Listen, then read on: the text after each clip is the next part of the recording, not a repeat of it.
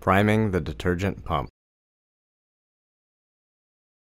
Warning, it is important before starting this or any other procedure that you or anyone who operates, works with, maintains, services, or repairs the Butler system and or vehicle be familiar with its operation and thoroughly read, understand, and follow in their entirety all of the warnings, cautions, and notices described in your Butler system and vehicle owner's manual and in the following operational video. Your safety and the safety of others depends on it. This video is for general demonstration purposes only.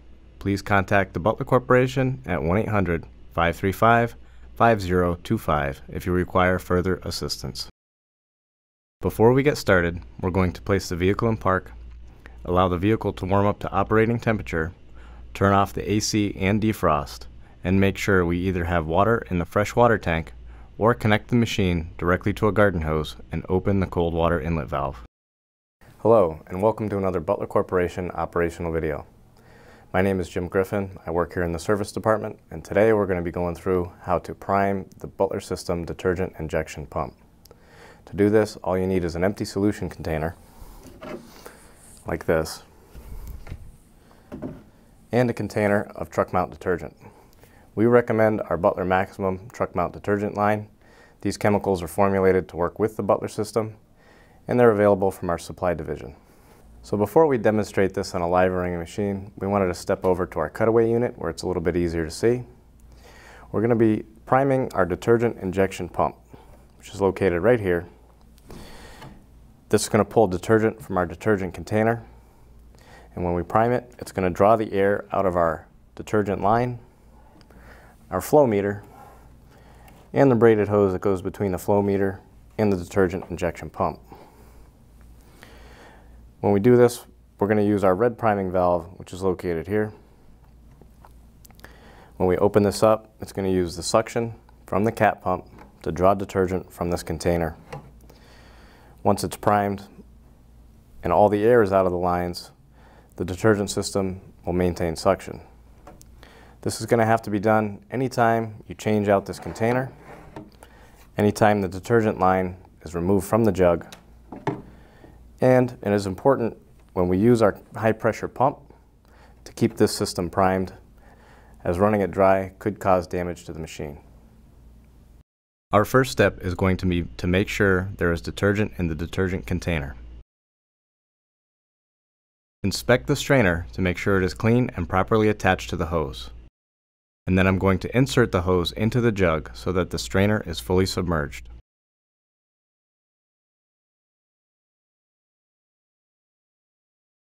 I'm then going to place the key switch in the on position and start the machine by activating the engage system switch.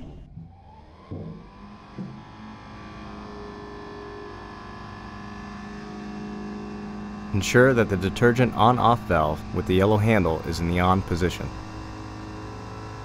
Next, start the high pressure pump by activating the engage pump switch.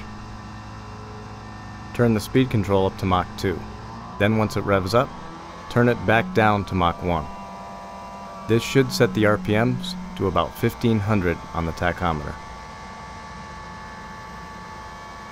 Place your empty solution container on the ground and put the end of your hot water convenience hose into the container.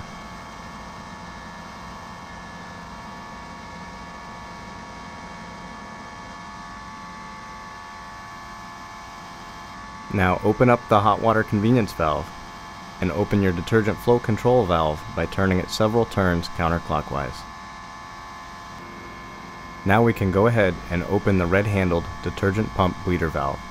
When reaching over here, be careful not to get too close to the moving belts. Detergent should begin to flow and you will see the air bubbles being pulled through the meter. If detergent does not begin to flow, partially close the freshwater tank ball valve or cold water inlet valve number 1050 or number 1020 until the detergent begins to flow. Then open the valve back up. Once all of the air is pulled out of the chemical line and flow meter, go ahead and close the red-handled detergent pump bleeder valve. Now close the hot water convenience valve and adjust your detergent flow rate in accordance with the instructions listed in your owner's manual. The detergent injection system is now primed and ready to use. Go ahead and turn down the speed control. Once the RPMs drop to 1000,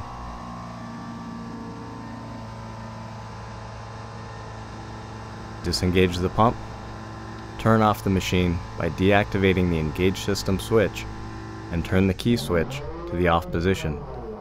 Make sure to dispose of the water discharged into your solution container in accordance with your local laws and regulations.